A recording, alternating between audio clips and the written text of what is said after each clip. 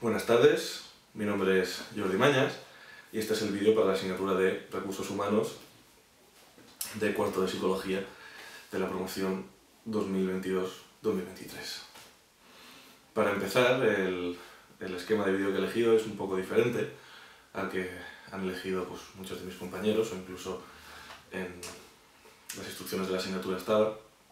El tema que voy a hacer es eh, cómo realizar una entrevista de trabajo. Y es por este motivo por el que decido hacerlo un poco distinto. Porque pienso que la mejor forma de enseñar algo o de que algo se vea es verlo en primicia. Y es por tanto que he grabado una entrevista de trabajo con un amigo mío y la voy a ir comentando conforme se vaya desarrollando. Pondré la entrevista en pausa y una voz en off, que será la mía, será la que comente pues, todas las diferentes etapas de la entrevista, por qué se pregunta cada cosa sobre todo y qué objetivo tiene eh, que se pregunten este tipo de, de, cosas. Y ahora sin más dilación, os dejo con la entrevista, con el vídeo y nos vemos al final de la misma. Bueno, Manuel, buenas tardes. Buenas tardes. ¿Qué tal? ¿Te ha, te ha resultado complicado llegar? ¿Has aparcado bien ahí en No, no, la verdad que había, había buenos sitios ahí para ¿Había un parar, sitio? así que- Bueno, me alegro. Estamos un poco recogidos, pero al ser una empresa mayormente online, pues ya sabes que los espacios físicos cómo van. Bueno, tengo aquí tu currículum en el, en el móvil. Si te parece bien, vamos empezando. Adelante. Bueno, esto que acabamos de ver no es ni más ni menos que la típica ruptura de hielo que se hace en cualquier situación social. En una entrevista de trabajo, pues no iba a ser menos. Aquí le, he preguntado acerca de si ha tenido dificultades para aparcar, pero se le podría haber preguntado sobre cualquier otra cosa. Luego también he comentado acerca del espacio y, y el formato en el cual tenía su currículum. De todas formas, esto es a la imaginación de, de cada cual. Ahora continuamos con la siguiente parte del vídeo. Perfecto, pues nada, mira, eh, primero te quería preguntar acerca de, de qué te llevó a, a presentar tu candidatura para nuestra empresa. Pues la verdad que un, un compañero eh, vuestro, de vuestra empresa, me, que lo conozco, me presentó el proyecto que lleváis adelante y me interesó bastante por, por- tanto por cómo trabajáis como por las expectativas que tenéis de futuro. O sea que Muy bien. me interesó muy mucho bien. y intenté echar el currículum. Bueno, en esta parte lo que estamos intentando averiguar es el interés que hay detrás del candidato a la hora de presentar el currículum. Nada de esto sale reflejado eh, ni en el currículum ni en una posible carta de, de presentación o de, motivación, ya que en esos dos puntos se revelan otro tipo de, de cosas. Así que eh, esta pregunta se la hacemos y es eh, 100% presencial para ver cómo se ha enterado, si lo ha buscado en internet, si no lo ha buscado. Entonces, aquí depende del candidato, en este caso ha salido muy bien porque lo ha dicho todo él, eh, puede salir de una forma u otra, pero eh, básicamente es para eh, conocer un poco mejor a la persona. Genial, pues a, raíz de esto, hablando también de, tu currículum, me gustaría que me comentaras un poco tu, formación, eh, crees que tiene tu formación que pueda adaptarse a nuestra empresa. Sí, pues eh, yo eh, estudié en la universidad un doble grado de Ujú. Ingeniería Informática y de Administración y Dirección de Empresas. O sea que, que me ha preparado bastante a la hora de trabajar. También he estado trabajando en un par de empresas antes de, de hacer una entrevista con vosotros. muy bien. Y he estado tanto de desarrollador de base de datos como también de, de jefe de organizador de proyectos también. O sea que- Genial, perfecto. Muy bien, muy bien. A raíz de, de- de esto que me acabas de contar, ya sabes el puesto de que, de, de que va, Eso es.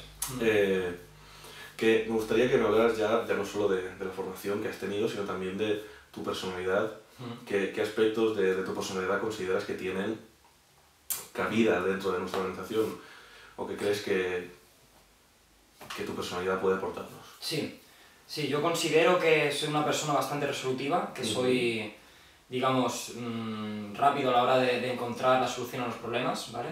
También eh, considero que intento hacer, intento buscar las soluciones lo más eficiente posible, ¿no? De- Muy bien. de- me, me preocupo porque la- las, las soluciones eh, valgan para un largo plazo y, y, además valgan para, para, gente que pueda venir detrás de mí o que esté trabajando conmigo, que no sean solo soluciones que yo entienda. Y también eh, considero que, que, que, puedo escuchar bastante a...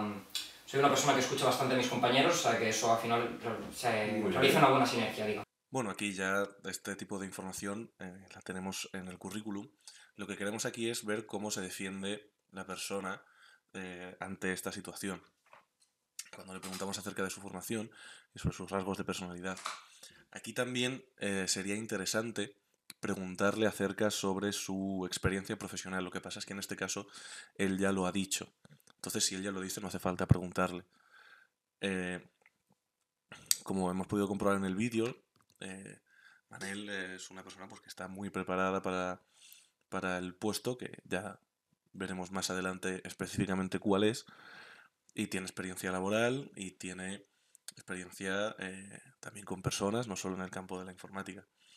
Así que continuamos con la entrevista, que ya queda menos. Genial. Ya sabemos, ahora que me has comentado ¿no? todos esos estos aspectos positivos ¿no? que tienen tanto tu formación como tu personalidad.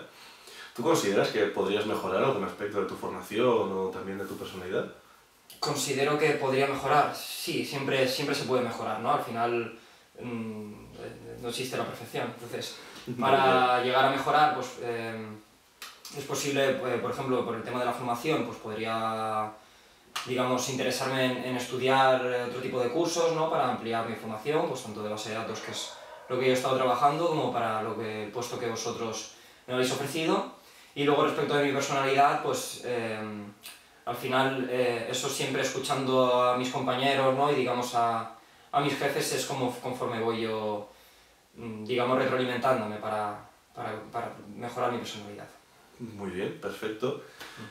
Y ahora también hablando un poquito ¿no? de, de, todos estos aspectos de personalidad y de tu formación, ¿qué crees que todo el, el, el, global conjunto tuyo puede aportarnos a nuestra organización? Yo creo que mi, mi global conjunto de todo puede aportaros, digamos, eh, soluciones rápidas, uh -huh. soluciones eh, eficientes, como he comentado anteriormente, eh, además de, de, buen ambiente de trabajo. Yo considero que, que, lo mejor para una empresa, aparte de, de saber funcionar bien y rápido, es em, digamos, llevarse bien con, con, tus compañeros, porque eso luego se nota a la hora de trabajar. Entonces yo os puedo apartar ese, digamos, buen rollo, dicho de mala manera. Sí, muy y, bien. Y, y yo, yo creo que ese sería mi punto fuerte para vosotros. Esta parte viene ligada con la parte anterior y con la, y con la siguiente, debido a que le he preguntado aspectos de su personalidad y de su formación que le gustaría mejorar. La respuesta ha sido buena, en este caso, ya que ha dicho que sí, que tiene ciertas cosas que mejorar. Aquí lo ideal habría sido que él mismo hubiera dicho las cosas a mejorar y las cosas que no, pero eh, como entrevistadores es importante también saber eh, en qué considera el, el, candidato que puede mejorar, porque así también después a la hora de ofrecer formación eh, ya lo vamos teniendo en cuenta. Luego también que piensa que puede aportar a la empresa es un elemento diferenciador a la hora de seleccionar a uno u otro candidato, ya que si hay varios candidatos que dicen que pueden aportar exactamente lo mismo a la empresa, no tiene ningún, ningún sentido que los, que los seleccionemos, ya que hay varias personas que son iguales en ese sentido. Entonces, mejor buscar a alguien que de verdad tenga elementos diferenciadores y que pueda aportar cosas nuevas a la empresa. Uh, ya quedan dos partes apenas del, del vídeo. Vamos a, a, continuar, vamos a ir terminando ya. Genial, pues oye, mira, eh, muy bien, me, me, gusta mucho lo que, lo que estoy viendo en esta entrevista y me gustaría preguntarte acerca de las expectativas en el caso de ser seleccionado para el, sí. para el puesto. Eh, ¿Qué expectativas de, de, de, de, desarrollo tienes dentro de la empresa? Y ya no solo de desarrollo, sino también de, de formación. Ya sabes que ofrecemos diferentes tipos de formación, ya no solo de base de datos, sino también de gestión de equipos sí. y más a nivel humano también. Pues tengo muy buenas expectativas, ¿no? Veo, veo un, una oportunidad muy buena a largo plazo, digamos, para tanto para mi futuro como para la empresa. La, la verdad tenéis muy buen enfoque. Uh -huh. Y luego respecto de formación, eh, la verdad que me ha interesado bastante todo, todos los cursos que, que, que, he visto que han podido realizar los compañeros. O sea que Eh, creo que podría perfeccionar bastante con vuestros cursos, sobre todo el tema de gestión de proyectos y, y, y yo creo que eso sería el punto más fuerte. Bueno, esta parte es bastante sencillita, ya que aquí lo que queremos ver es si la persona que estamos entrevistando quiere quedarse en la empresa a largo plazo, ya que no eh, suele ser interesante para, para las empresas quedarse con gente y luego que se vayan yendo, que se vayan quedando dentro, fuera, suele ser mucho coste. Así que en este caso, muy bien, ya que tiene ideas de desarrollarse junto con, la empresa. Y ahora ya vamos a entrar en la, en la última parte de, del vídeo, con la última explicación, y luego ya nos despediremos.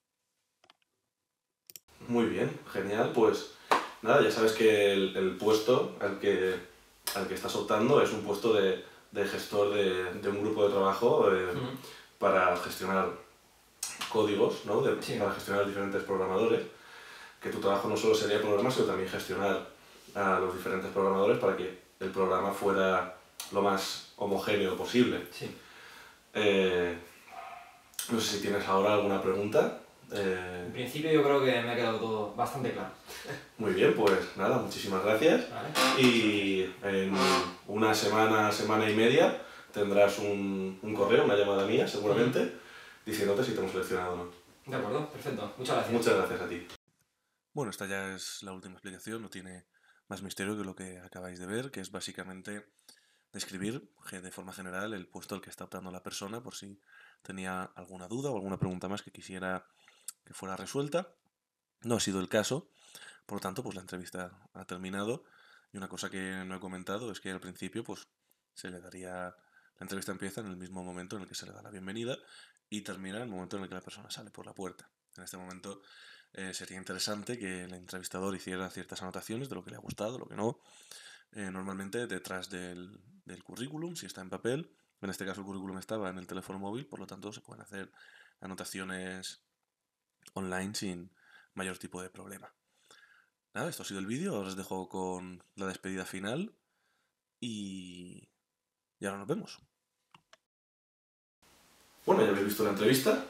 Espero que os haya parecido ilustrativa, que os haya servido para realizar vuestras futuras entrevistas de trabajo, no solo desde el punto de vista del entrevistador, que era el objetivo del vídeo, sino también para que veáis un poco al entrevistado qué cosas le pueden preguntar y qué cosas no. Hay algunas cosas que no hemos preguntado en el vídeo, como por ejemplo, qué es lo que te gustaría cobrar o con qué rango de sueldo te gustaría empezar, porque es una pregunta que a mí no me, no me hace especial ilusión. Eh, yo si voy a seleccionar a alguien, no lo voy a hacer pensando en cuánto va a cobrar o dejar de cobrar, sino en cosas más humanas, ¿no? como la personalidad, o qué objetivos tiene, qué objetivos deja de tener, qué trae de casa o qué espera aprender eh, trabajando conmigo. Así que nada, con esto me despido, muchas gracias por ver el vídeo y hasta la próxima.